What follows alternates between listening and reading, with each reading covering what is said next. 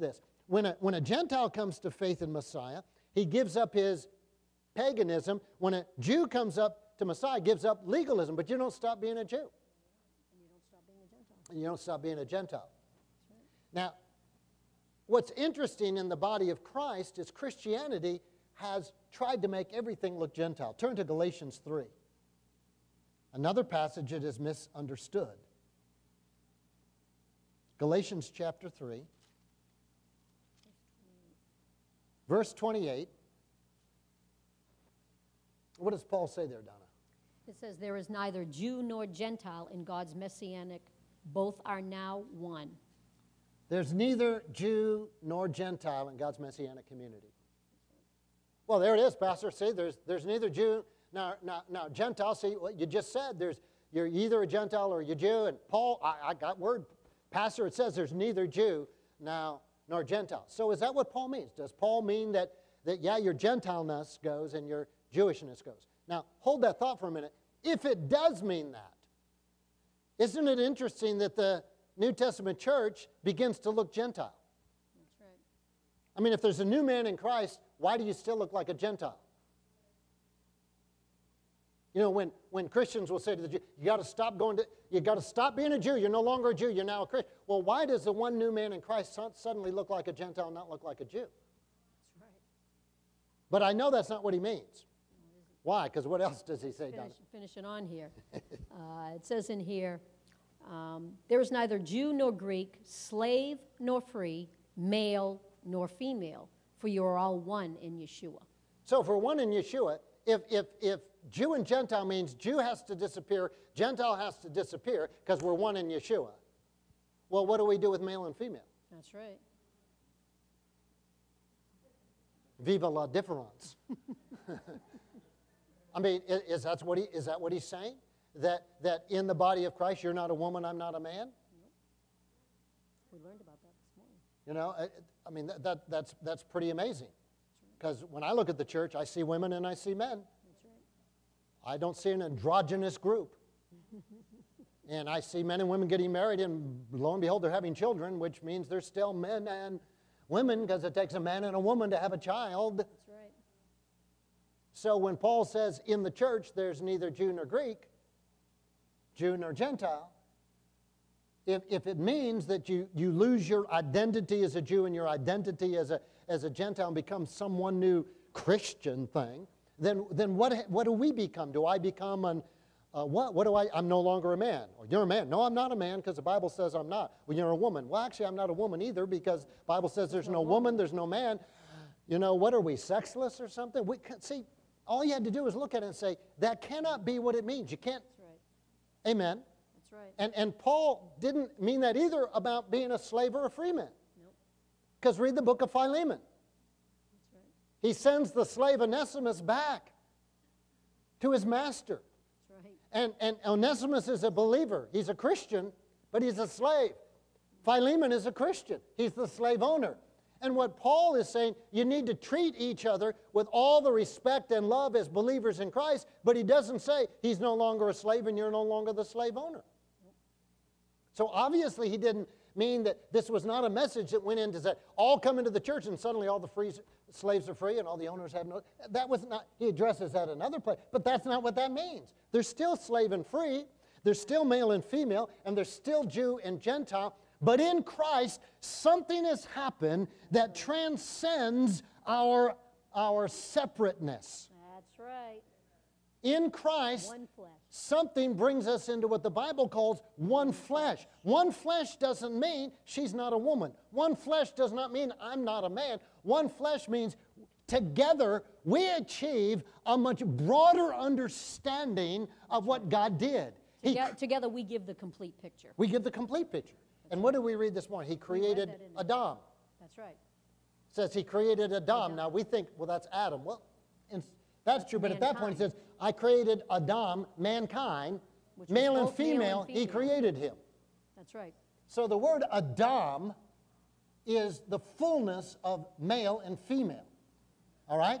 So when God created Adam, who was he? What was he? He was a wholeness. He was he was. whole. That's right. He was whole, He was but he had no completeness of, of fellowship. There was not a helpmate suitable for him. That's right. So what did God do? He says, okay, you go to sleep, and I'm going to go over here and create a woman.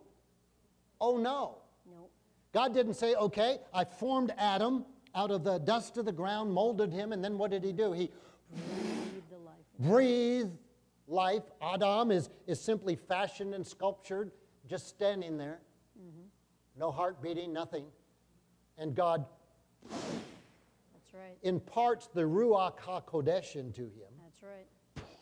and he becomes a Speak. speaking spirit, is what the literal Hebrew says. Not he becomes a living being, is what most of the, our Bible say, but literally it is he becomes a speaking spirit. That's right.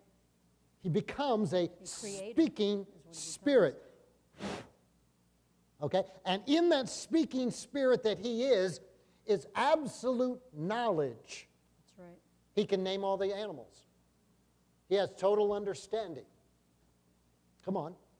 And, and so now, when, when, when God says, I'm going to create a helpmate for him, God doesn't say, Look, you go take a nap in the hammock, and I'm going to go over here and I'm going to mold me a woman, and I'm going to breathe in her the breath of life. But he takes something out of Adam. That's right. And, and he takes the rib, okay, takes a rib and fashions a woman out of it. Masterfully crafts.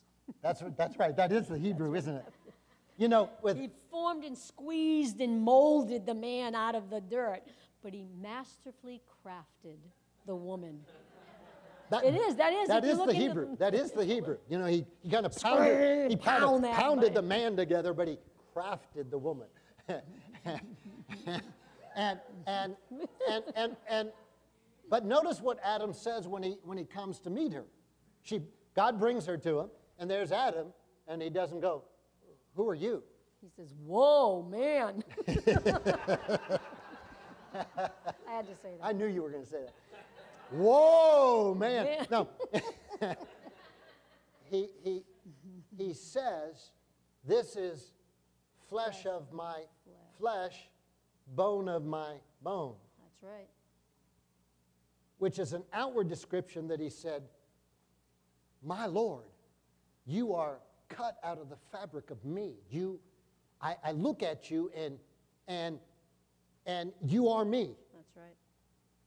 I, he recognized Well, that. he recognized something was unfulfilled within himself. empty here he wasn't here. complete without that. that's right. So when he woke up, it was like, I'm sure he felt there was something, something's missing. Something's missing. I'm not quite there. And then when he looked at her, it's like, whoa, there it is.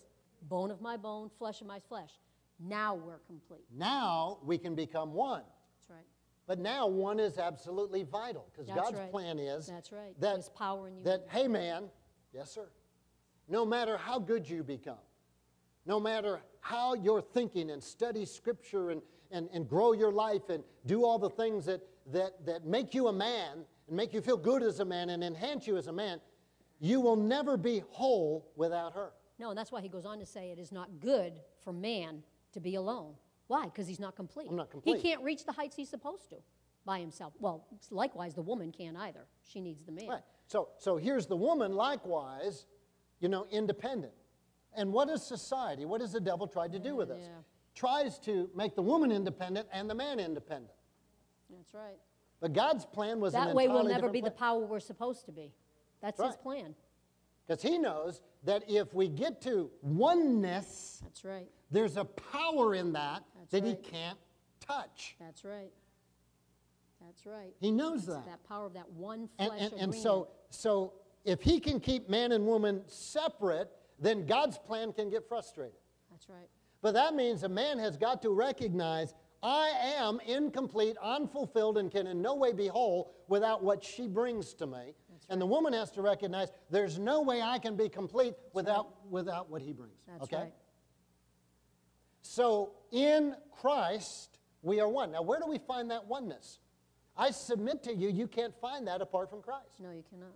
In the world, there You are. you don't have the you don't have the tools with which to Do it. permanently attach that two pieces together. You don't. That's why the world is such a mess. Men and women. Man can't understand the woman. Woman can't understand the man. Why? They don't have Yeshua to enlighten them to, to figure out it's an eternal concept. So they don't have that the, the, the breadth to understand the mystery, the power that, that lies, this, this revelation that lies within. If you just come together, then you are my man for the hour. And, right, and so, so the, the, the thing that is the binding agent to Paul mm-hmm. is belief in Yeshua. Yeshua in your life, Yeshua in my life, that is the glue that holds yep. us together. That's right. Now, without Yeshua, then, what are you trying to do? You're trying in the natural to bind it together. You're trying behavior modification. So, so what you do? Well, I like sports. Do you like sports? No. Okay. Well, I won't have sports anymore. That'll make it nice and harmonious. Uh, do you like the beach? Yeah. Uh, I like the mountains. She says, Well, we'll go to the mountains. And so we start compromising to build unity. That's right. It's not you be fully who you are, I'll be fully who I am, and it draws us together. Because in the world, when a man and woman are being fully who they are in the world, it drives them apart. So they start to give up and, and, and, and, and to compromise and, or to try to force this one to think like me. And we're all trying it at a social level, an emotional level, right. a physical level. Uh, you know, how do we even get attracted to people? You know, well, they like what I like. See, we're trying to get unity in this world, but unity comes from another dimension. That's right, it sure does. And so in Christ, there's neither male nor female, but in the world, there is strongly male and strongly female. And that's what we, we heard that this morning is that, that the Jews believe that in the Messianic era, right. that there's no longer, they have that concept.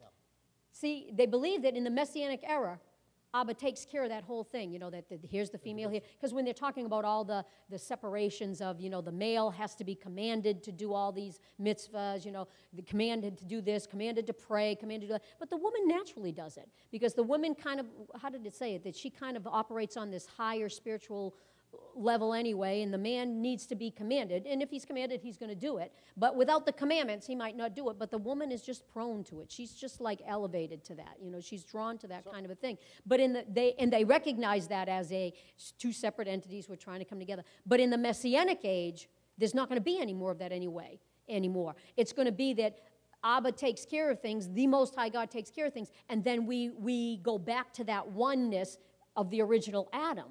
Well, what are we in? Yeshua has come. It's the messianic age, isn't it? So when Paul says that there, that is what he's saying. There's no more male or female. See, people, if you don't understand the Jews and what they believe and what they know, you miss the whole point of this. What do you mean? No, no male, no female. That's what it means. He's saying we're in the messianic age now. That mystery, that, that revelation, that, that gifting of eternal concept is now in operation here. So in him, there is no more male or female. There's just, when he looks at us, we're just one. He just sees his creation, his, his sons and daughters, yes, but it's like it's his child. We're one in them. So that's what that passage is saying. A very rabbinic passage that you can't understand at all if you exclude Judaism out of your upbringing. That's right. Okay? That's right.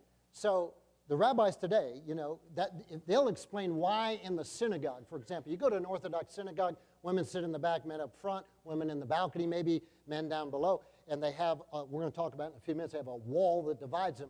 Uh, but they believe in the Messianic age, all that's going to disappear. Why? Right. Because when Messiah Why? comes, when Messiah comes, he's going to bridge that gap. And the minute I read that, I'm reading this rabbi say that, I'm saying, that's what Paul was talking about. That's right. The Messiah is here, the Messianic age is here, so there is neither male nor female. Now, how can you get to that? You can only get to that through Yeshua. That's right. Okay? That's only right. when I see that Yeshua, my Lord, is Donna's Lord. That's right. And when I report to him, waiting for his instructions on how to treat his daughter. Amen? Because one thing I know is Yeshua in her is the same Yeshua in me. That's right. See, I know that about you as brothers and sisters. If you're truly a child of God, in you is what's in me. You may not have been listening, you may not uh, comprehend, you may not see it, but I have absolute confidence. That's why, if you're a believer, I don't spend a lot of time beating people on the head, head about sin. No. I'll put it in your face, boom, there it is, and let it go. You know why? I have full confidence that the Holy Spirit in your life is the same Holy Spirit in my life, and I know what He does in my life. Boom, He's in my face. Amen. Amen? Amen. Uh, you know, whether you listen to him or not, that's your choice. But if you won't listen to him, surely you're not going to listen to me. That's But why do I have that confidence? Because I know what's in you is in me. If you're born again, I know that. You got the same Lord. He's not telling you, you know, one thing and telling me another thing. That's right. There's something, one of us isn't hearing right. Amen? So when we, when we come to that, we can begin to see how uh, unity comes. Now, do you understand that with male and female? Well, what about Jew and Gentile? That's right.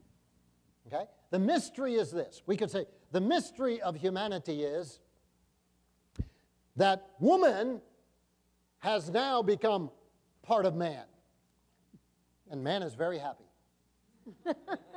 okay? The mystery is that Gentile has now become part of Jew. That's right. And Jew is very happy. Now, Pastor, do you have any evidence of that? Those of you who are in Israel with me, last night in Israel, when we visited those families, That's right. what do you think happened? Amen. They were ecstatic Yes, they were. at meeting Christians who love Torah. That's right. They had one thing in mind we're going to sit here as Jews, we're going to talk to some Christian people. We have in our mind what Christians are. And all of a sudden, we come waltzing in their life. And we love Torah. we're, we keep Sabbath, and we're trying to, we keep the festivals, and we're trying to find out what God's will is. And they were absolutely